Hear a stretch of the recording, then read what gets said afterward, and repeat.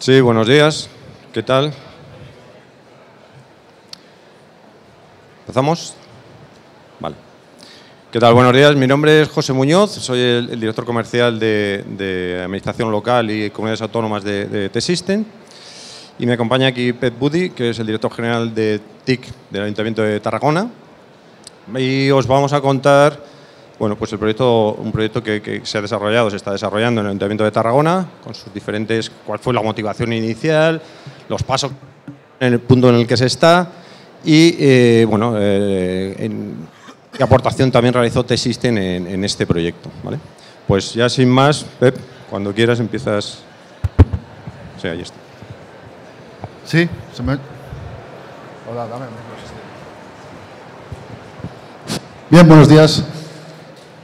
Eh, gracias por la asistencia y por la invitación a compartir un poco proyecto de Tarragona. Eh, permitidme solamente una introducción muy básica en el contexto para que veáis un poco el, la motivación, pero básicamente creo que todos somos conscientes los que estamos aquí de la madurez eh, de las tecnologías eh, que ha cambiado modelos de negocio, ha cambiado modelos de relación, métodos de trabajo, en el cual los datos han sido una parte eh, estratégica importante como activo en, en este cambio, ¿no? acompañado de innovación. Y además, nosotros como sector público no podemos estar ajeno a ello. ¿no?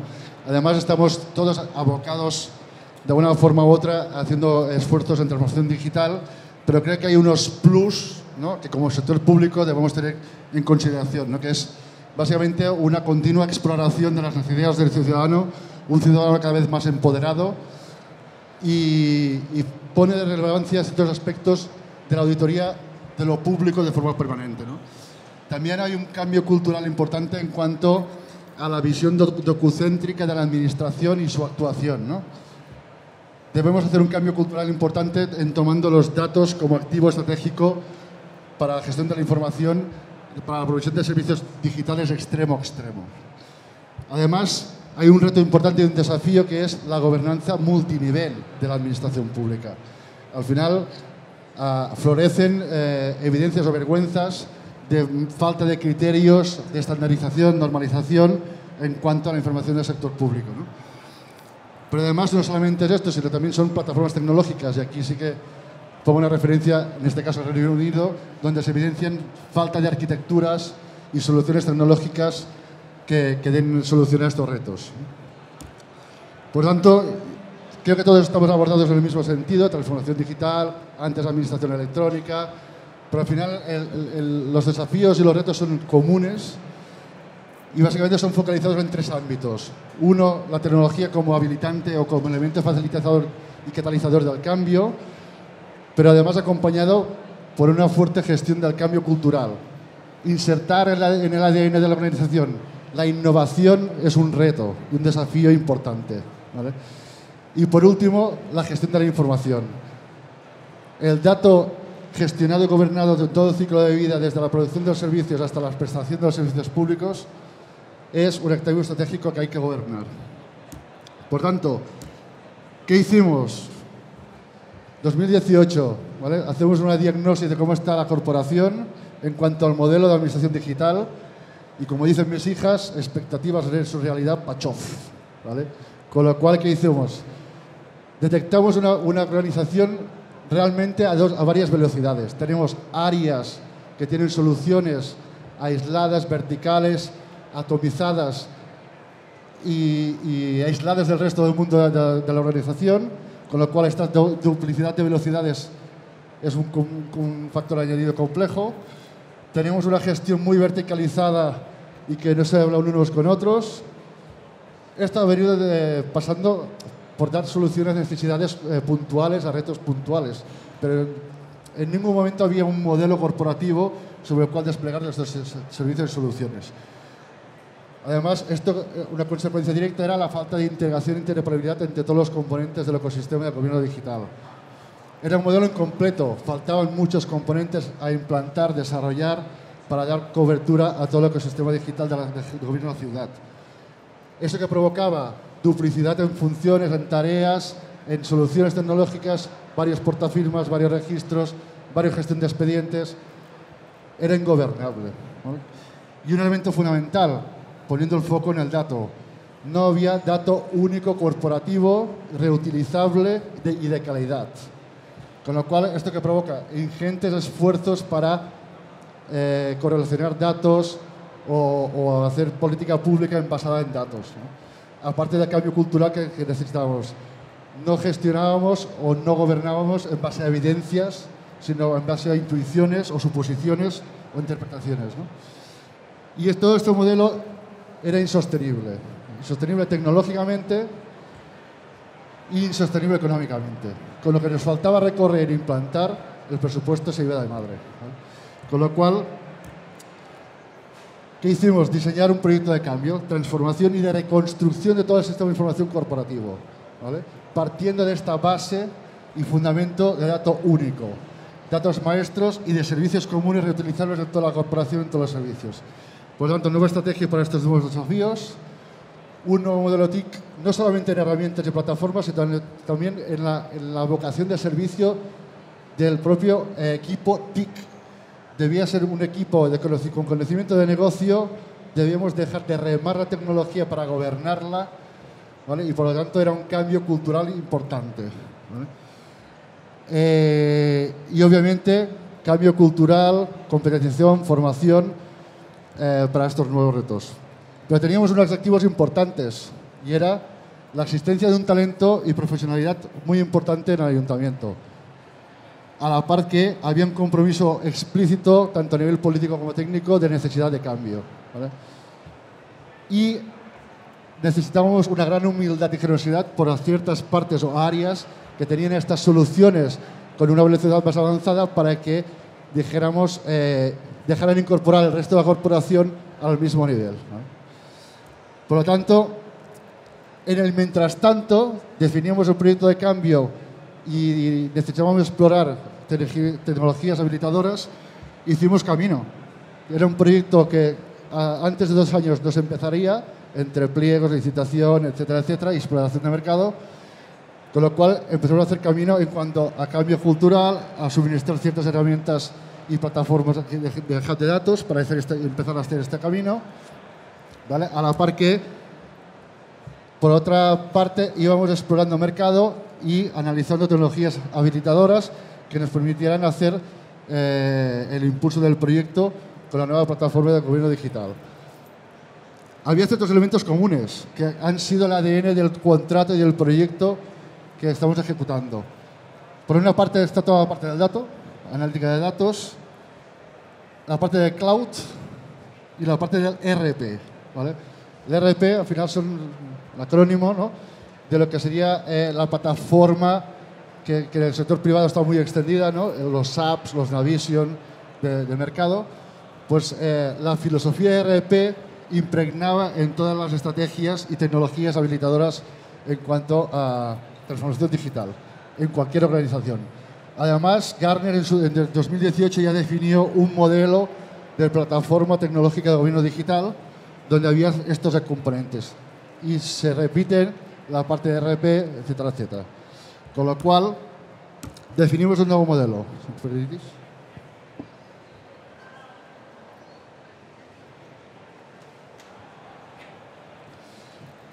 Nos basamos en una metodología en doble perspectiva. Una, por un lado, eh, la metodología definida por la OCDE en cuanto a a un gobierno digital por defecto, data driven, con el foco en los datos y la gestión en todo el ciclo de vida. El gobierno construido como plataforma integral, abierto por defecto, eh, favoreciendo, el, poniendo el centro las personas y la experiencia de usuario en todos los servicios digitales, para terminar consiguiendo una administración más proactiva y personalizada en cuanto a los de servicios. Pero en paralelo debíamos evaluarnos y analizar el impacto y el valor público que el proyecto reportaría y qué mejor marco conocido por todo el mundo que, los objetos de desarrollo sostenible. ¿Qué decimos? Definimos un modelo conceptual partiendo de la parte más básica de infraestructura y conectividad, donde debimos redefinir el modelo tecnológico de la infraestructura también, pasando por estos componentes de datos maestros, núcleo de información corporativa, a partir del cual crecer con todos verticales y transversales, Y por, otra parte, no, había solamente una visión de ayuntamiento, de administración, sino también la gestión del espacio urbano y cómo tomamos el pulso a la ciudad, cómo tomamos el pulso a las nuevas relaciones de la ciudad con la ciudadanía y cómo esto son datos ingeridos en la plataforma de ciudad para, este, para esta plataforma vertical de conocimiento compartido en todos los ámbitos de gestión del gobierno además con unos verticales que traspasan todos los componentes, como es el gobierno de los datos y como es la ciberseguridad en todos los componentes. Pero además, como decía, lo alineábamos con los objetivos de desarrollo sostenible y qué aportaba cada parte del modelo en los ODS. Voy rápido, si no, no... Bajábamos un nivel más. Del modelo conceptual bajamos a un nivel de arquitectura, es decir, definimos todos los componentes de la plataforma de gobierno de ciudad en qué punto estábamos en 2019, lo que nos faltaba por hacer, pasando por 2022, por la primera parte de, gobierno, de, administración, para terminar gestionando todo el ámbito de la ciudad. Por tanto, definimos nueva estrategia basada en seis ejes estratégicos. Por una parte, la gobernanza estratégica del proyecto de cambio, determinación explícita de gobierno y dirección eh, técnica, eh, provocar el engagement a la corporación, hacer una implicación y sentido de pertinencia al proyecto de organización, pasando por este nuevo modelo tecnológico, un servicio TIC más abierto con conocimiento de negocio y acompañamiento y tutorización a la organización, la parte de gobierno digital para terminar prestando servicios más inteligentes, personalizados proactivos. Esto acompañado por posicionamiento eh, a nivel de administración ante la ciudadanía, al territorio de la corporación en el ámbito de, la vanguardia de, proyectos digitales, acompañado por un fuerte cambio, como decía, de, componente de innovación en el personal y en la cultura organizativa.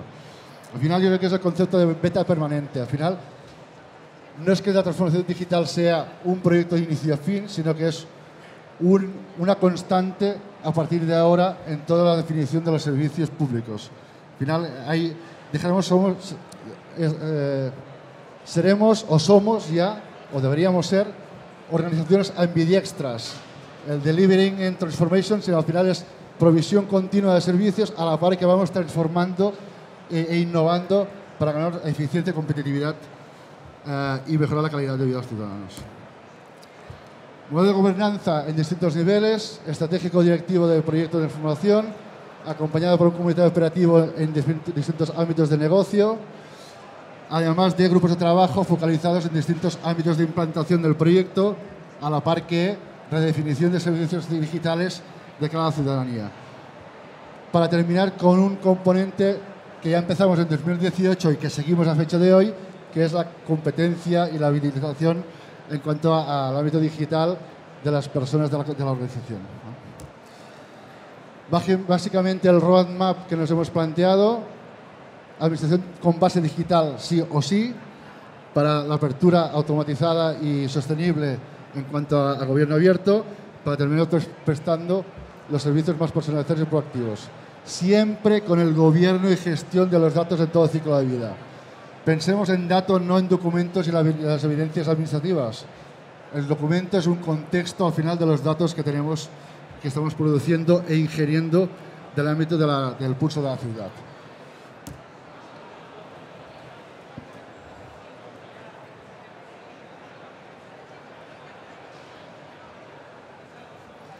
Por tanto, seguimos en la línea de los datos.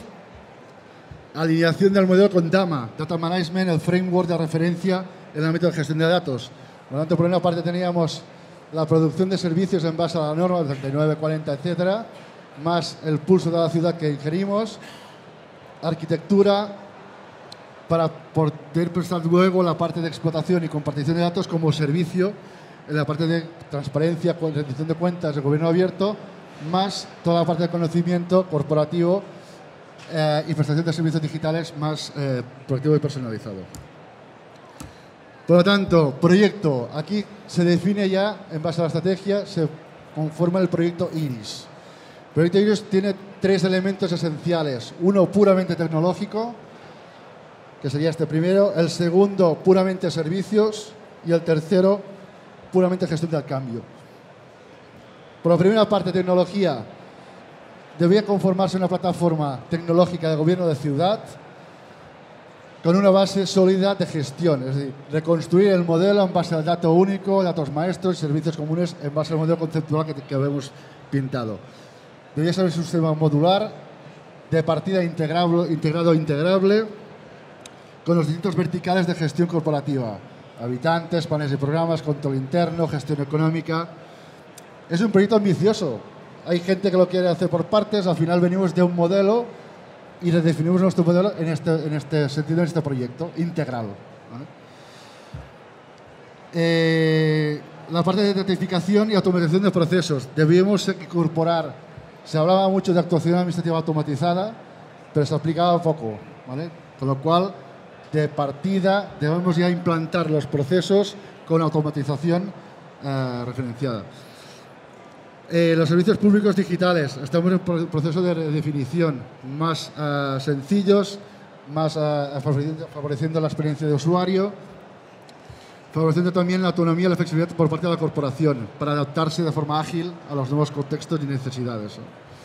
Y todo esto se provisiona mediante un cloud privado, un cloud privado en tres entornos, un entorno de producción, un entorno de preproducción y un entorno on-premise en este caso, que es un espejo de, de producción para desarrollo, pruebas de integración, etc. Con lo cual, entomábamos o cogíamos abrazábamos la tecnología cloud para focalizarnos en negocio y no de una forma endogámica, mirar siempre la tecnología y cómo proveíamos infraestructura y sistemas, eh, con lo cual acabamos la agilidad en la implantación del proyecto. La parte de servicios, bueno, como cualquier eh, proyecto, pues la provisión de la plataforma, la migración, pero había un elemento importante que era cómo definíamos ya este protocolo de datos corporativo.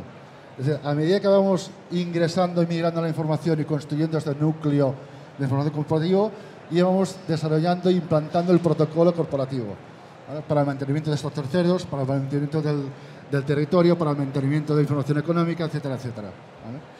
Con lo cual esto se ha convertido, dijéramos, en la Biblia interna de la gestión municipal. ¿no? Y por último, servicios postproducción. La idea es cuatro años de implantación del proyecto, más ocho de mantenimiento y evolución de la plataforma, posibles prórrogas. ¿vale? Que aquí el reto está en cómo gestionábamos o licitábamos un proyecto así a 12 años vista. ¿no?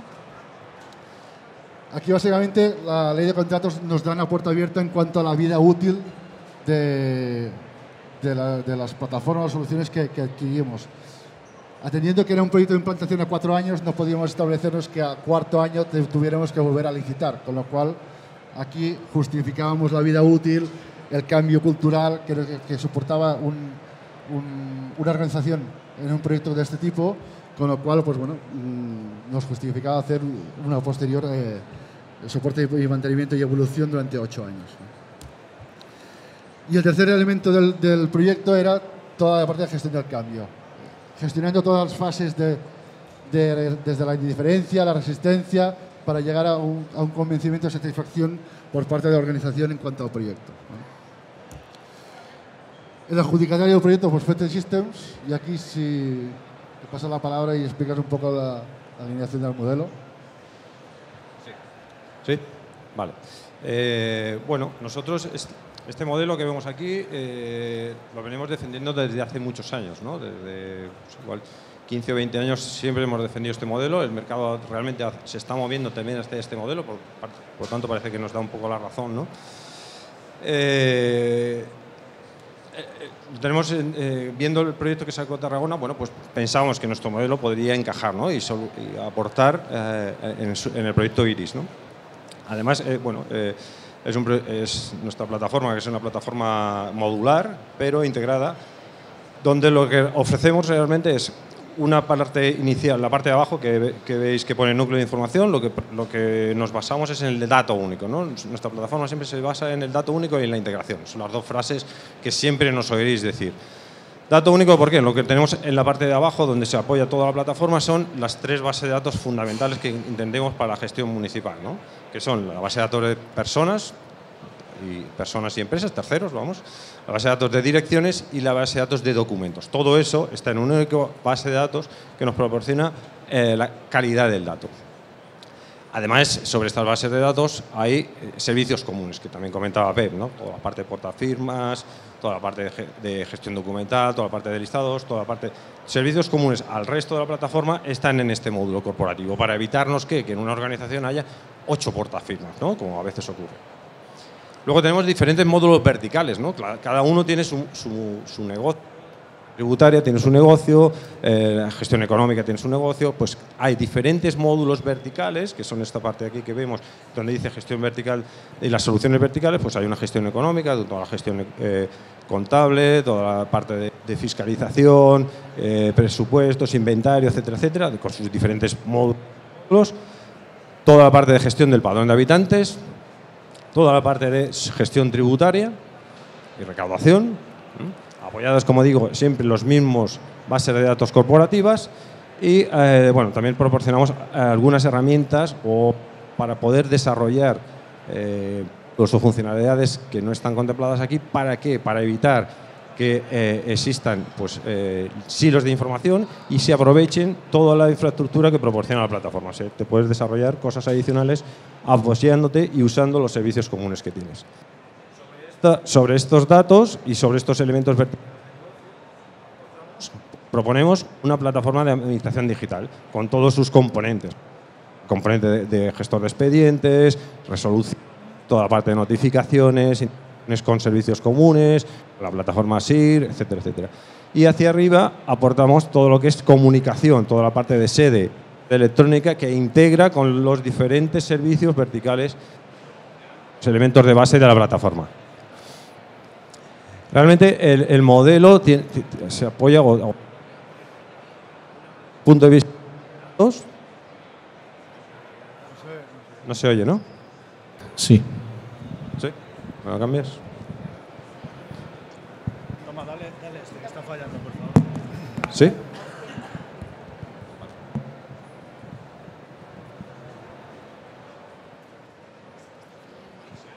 ¿Hola? Sí. Sí, decía que la plataforma tiene tres ventajas, o aporta tres ventajas desde nuestro punto de vista este modelo ¿no? y, la plataforma que lo, sustenta. Por un lado, el dato. ¿no? Tenemos calidad de dato, tenemos dato único y luego el, oro del, siglo XXI, ¿no? que dicen que es el dato, pues si no tienes un sistema único de información, no tienes eh, calidad de dato.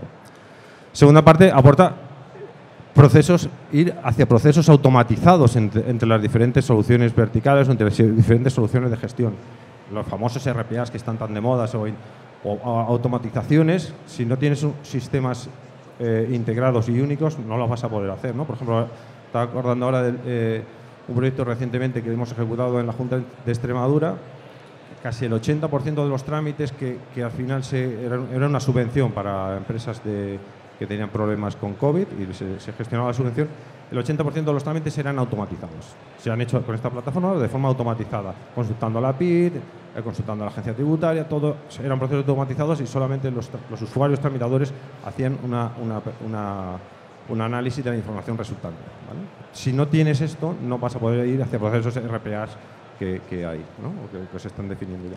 Y tercer, tercer punto que entendemos ventaja del modelo es la sostenibilidad del modelo. ¿no? No, tienes que tener diferentes desarrollos de integraciones entre diferentes plataformas. ¿no? Tienes todo bajo, un bajo una misma tecnología sin tener que estar dependiendo de en qué punto está cada uno de los elementos de tu sistema en, diferentes tecnologías. Y bueno, fue lo que nos presentamos al ayuntamiento. Por, supuesto, la plataforma tiene indicadores para saber en qué punto está y, explotar la información resultante. Y bueno, nos presentamos al concurso de, Tarragona y, fuimos los adjudicatarios. ¿no? Y ahora Pep nos va a contar qué punto estamos y cómo ha ido evolucionando. Bien, gracias.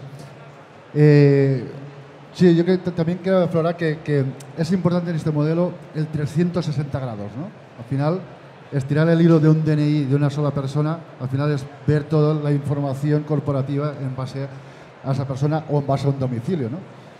Uh, o passa un activo. O sea, con, el nuevo paradigma de la gestión de la, de, del pulso de la ciudad a la gestión de servicios urbanos, el activo es un esencial, un activo específico en este núcleo de información de base del cual estirar eh, toda la información vinculada a un activo. ¿Para en qué punto estamos? Pues bueno, Básicamente estamos ya, hemos superado el año y medio de proyecto, donde, hombre, hemos recorrido un camino importante. Yo, yo diría que, que el más complejo, porque en julio fue la puesta en marcha bastante importante en cuanto a sede electrónica, registro electrónico, expedientes, eh, gestión económica, con los procesos de migración, implantación y puesta en marcha, con lo cual dijéramos que hay distintas formas de verlo, ¿no? Es decir, antes hablábamos con un compañero que, que hay veces que falsifican ¿no? Eh, un proyecto de este tipo y decía, hostias, que tomar el pulso de una organización a 3.000 grados, pues, pues no es de gusto, ¿no? Y yo decía, pues bueno, yo prefiero pasar ¿no? eh, todos los 3.000 grados una vez que no 500 grados varias veces. ¿no? Bueno, son modelos y al final, como os decía al principio, es, es el resultado de una evaluación de un modelo del cual partíamos.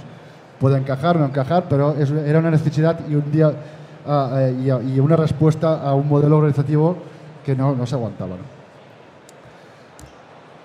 Eh, implantación por, por componentes de la solución y la plataforma, os lo dejo aquí. ¿eh? Básicamente estamos a un 50% diría más o menos. Fases e hitos del proyecto y el seguimiento mediante el gobierno del proyecto. Y yo diría que ya la organización empieza a ver el valor. O sea, cuando tú vas cambiando las piezas, no ven el valor y el resultado final del proyecto, con lo cual es necesario ir ejemplificando y quick wins para que vean el valor que aporta una solución o la visión que tienes respecto a la gestión corporativa. ¿no? Por tanto, el dato. Estamos en proceso de dat- datificación de todos los procesos. ¿vale? El 360 grados que os decía antes. Somos capaces ya de ver a través de un ciudadano todo lo que hay en la corporación respecto al ciudadano que estamos atendiendo. Tenemos elementos para simplificar. O sea, sabéis que la parte de simplificación administrativa por muchas guías y esfuerzos y grupos de trabajo siempre está el easy, easy. Pues tenemos herramientas como para po- poder analizar los procesos que se están ejecutando en el sistema y pasar, dijéramos, las tijeras a posteriori. Con lo cual, los easies se diluyen de forma eh, automática y por evidencia. O sea, no es la intuición y la opinión de un gestor, sino que realmente es una evidencia en cuanto a, a argumentar la simplificación de ciertos procedimientos. Y la parte de servicios digitales al ciudadano. ¿vale? Un nuevo entorno mucho más fácil, ágil ya integrado con el sistema de repres- representación. En Cataluña se la representa, la apodera, con lo cual ya en tramitación del servicio al ciudadano ya recogemos e integramos información de distintos ámbitos de la administración para que entre la información mucho más depurada y de calidad. La parte de la pieza de conocimiento, la parte de gestión en base a datos. Tenemos ya un cuadros de mando por cada ámbito de gestión, incluso no solamente para la gestión y el gobierno de los, de los servicios, sino también para la calidad del dato. ¿vale? El primer componente nos ayuda a revisar y a mejorar la calidad del dato en cuanto al, a la información corporativa. Pero además tenemos ya una parte también de ciudadana, como os decía al principio, esa doble perspectiva, tenemos ya la evaluación en cuanto a las ODS del proyecto que está, está, eh, impactando a, a la ciudad.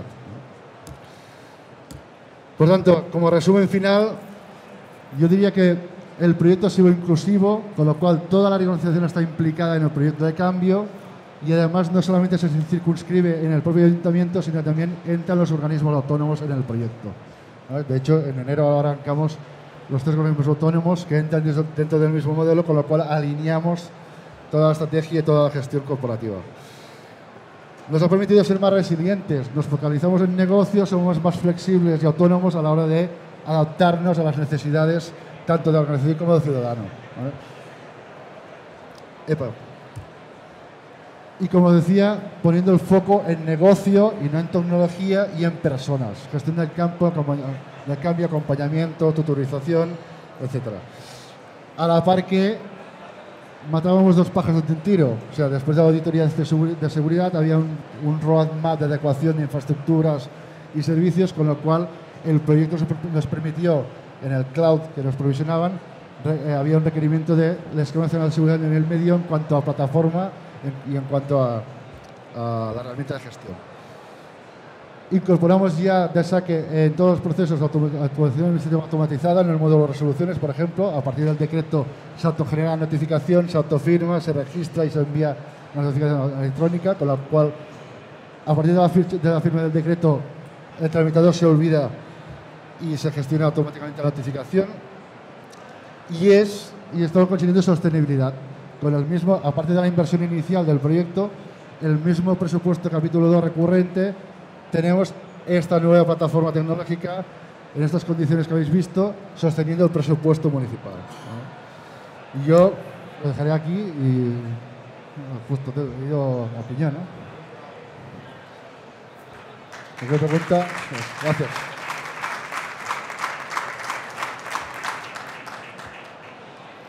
¿Dudas, cuestiones? Hay cinco minutos, ¿no? ¿Alguna pregunta o algo? Así me gusta, perfecto.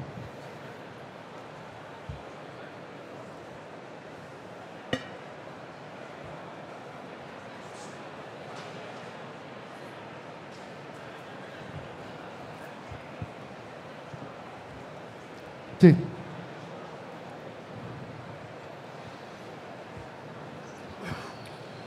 Hola, buenas. Soy Raúl del Ayuntamiento de San Sebastián de los Reyes.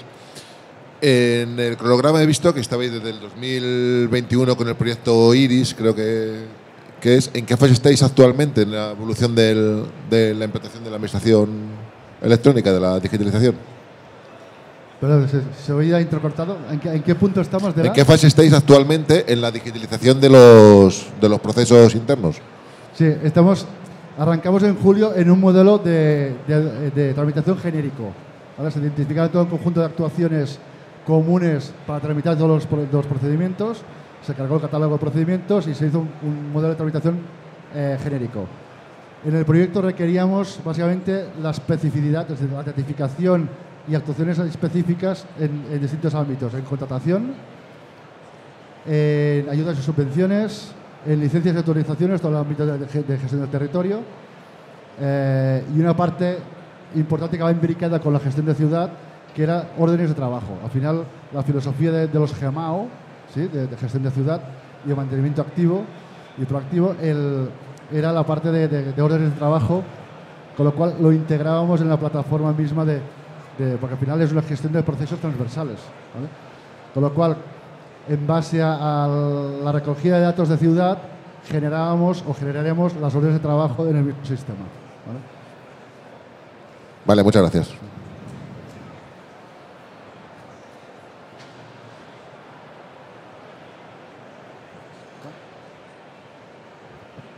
Gracias.